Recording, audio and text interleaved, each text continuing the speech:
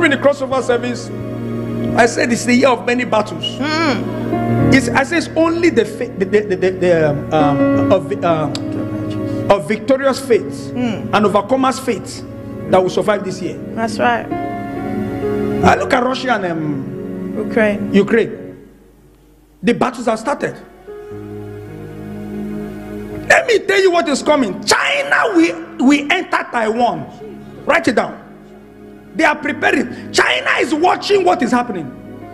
When I was prophesying against Joe Biden, I got insult and abuses. People said, You stupid um, uh, um, sub Saharan prophet. Shut up, you're looking for attention. I said, America made a great and a great, grievous mistake, a great mistake losing Donald Trump.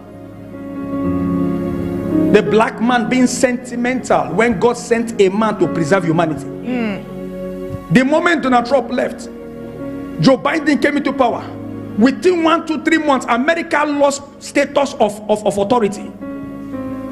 Left over 85 billion US dollars worth of weaponry in the hands of terrorists.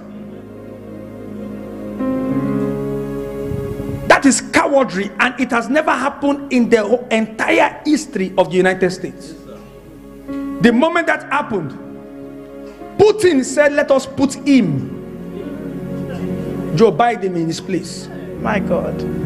What happened is China have only used Putin to test the resolve of USA because what they want to do is take over Taiwan and get Taiwan under the rule of China. You will see. He said, Yeah, please tell Boris Johnson. All I'm begging this man, just, uh, just fo- focus on UK. oh. Leave the affairs of Russia alone. We sanction him, sanction him. Just keep sanctioning. Don't go and fight anybody. oh. I'm leaving here. I don't want bomb. oh.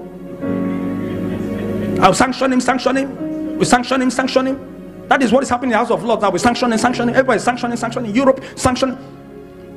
Putin said, if they burn any of you well, throw a missile to my country. They didn't throw missile. We sanction him, sanction him. Ukraine, is it sanctioning, sanctioning they're looking for? Please tell Boris Johnson, just keep sanctioning. Don't throw missile, please.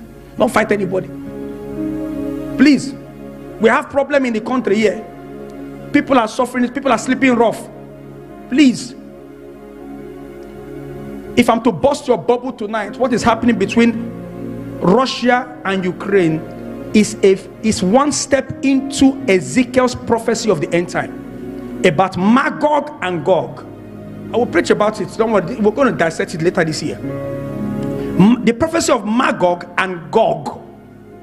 Go and check Revelations and Ezekiel. The prophecy of Magog and Gog.